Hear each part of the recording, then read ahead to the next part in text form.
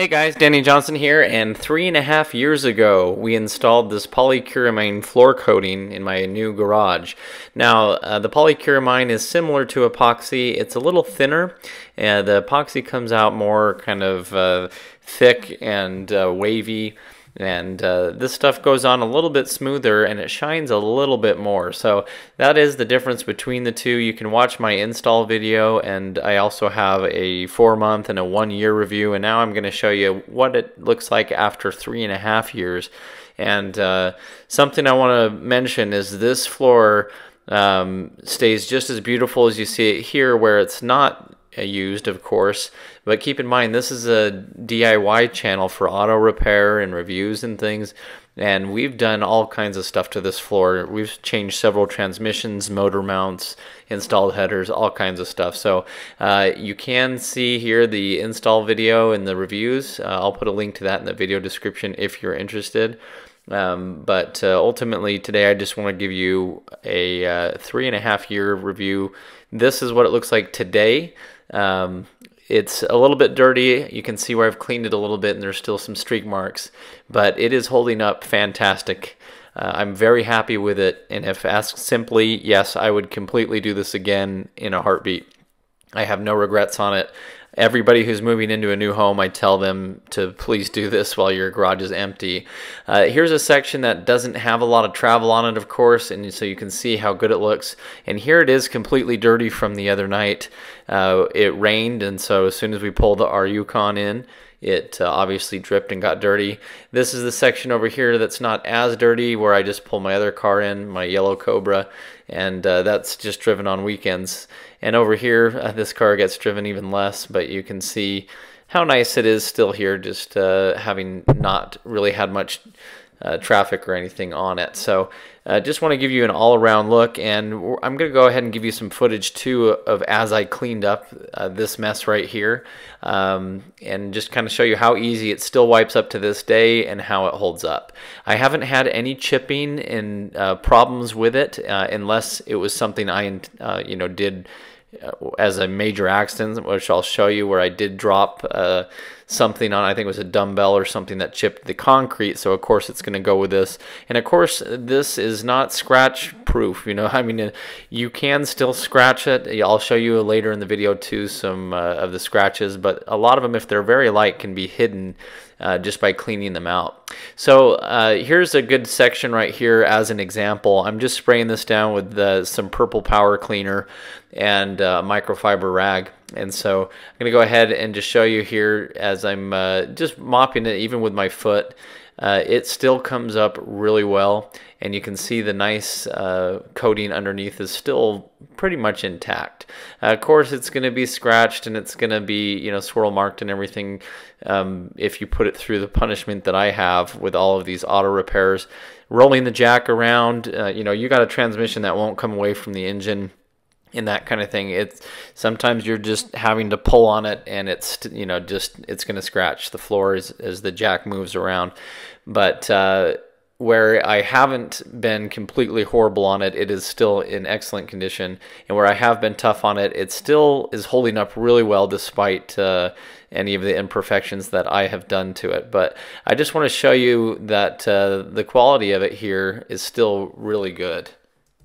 Okay, so here's a section that I just cleaned, and as you can see, it looks good. Here's where I chipped uh, a chunk of it out, but I dropped like a cement dumbbell there, and it came apart. So that was definitely not uh, the product itself failing. And here's some scratch marks, as I've told you. You can see they're pretty deep from you know things happening during maintenance repairs but you can see this tile that I've uh, cleaned pretty well and I haven't put a lot of hard work into it but uh, you know, here's another clip too, just to show you. Uh, this is uh, me working on the transmission on an F-150 and you can just see obviously this floor has been through a lot as we've moved dollies around on it and floor jacks and had to set transmissions down and, and things like that. But uh, anyway uh, here's another tile that we're going to go ahead and clean. And um, I did this just under a little different lighting circumstances so that you could see. And I sped up the footage not to bore us but uh, I'm just going to show you just lightly spraying it. Uh, it still wipes up really well. And that's what I love about this floor, whether you're doing an oil change or whether whatever you're doing, it's a rainy day and the car comes in dirty or muddy, it will clean up uh, relatively well, even after three and a half years. And so um, I'm very happy with this product. The epoxy has been known to chip a little more, and I did the epoxy of the same color in my other house. And it was, uh, I only lived in that house for two years, and it was still good when I left. Uh, the polycuramine is said to be um, more chip resistant and so I went ahead and went with it this time. And I have noticed it's a little less wavy uh, is kind of the way that uh, it comes across. It's uh, kind of a smoother coating but uh, I really do like the polycuramine from Rock Solid that we we applied here so uh, again here's just a quick cleaning it's not uh, anything too major but just wanted to show you that the floor for being a garage floor uh, has cleaned up and withstood very well. So again, that's kind of a clean here.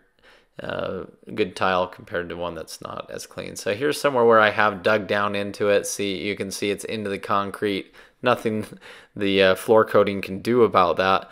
But uh, just to show you, it hasn't uh, given me many problems chipping. Now what I want to show you here is I'm rubbing out some of these scratch marks. So if you look there, it's actually, the floor is scratched, but if you get some cleaner down in there and you rub it pretty good, you can see how I've made a lot of that disappear. Uh, if it's if the cut in the scratch is not too deep, then cleaning it out, it it just looks like the rest of the coating. Uh, it just depends on how bad you have indeed um, scratched it and messed it up. But uh, it's nothing to really talk bad about the coating itself because that will happen uh, if you uh, if you scratch. And I'll show you another scratch here. But uh, overall, I'm still very happy with it. I would completely recommend it. Uh, please watch my install video and other review videos as well so you can kind of see. But uh, I mean, the floor has lost a little bit of its luster. And here's a little bit, uh, you know, here's a little scratch that was there from moving something. I forget what it was.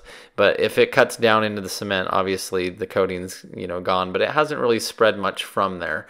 So um, it's still holding up really well, in my opinion. So uh, you can also see like this dark tire track it was uh, cleaned in the tile right in front of us here.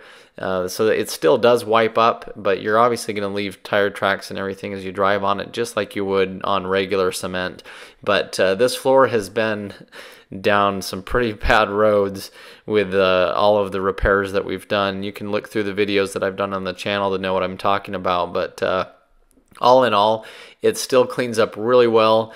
All these spots, um, there's a few things like uh, I was doing, I was bleeding the brakes on my wife's car and on the Yukon, and uh, there was still a little bit of brake fluid that spilled on the floor, and the car sat down on it, so uh, the tire put some pressure onto it, and it kind of etched it into the floor. So that's something that you could uh, imagine would happen, but all in all, it's holding up great. I'm still very happy with it despite the abuse that I've given it. And if you uh, install it and take good care of it, it will continue to last. So here's what it looks like three and a half years in.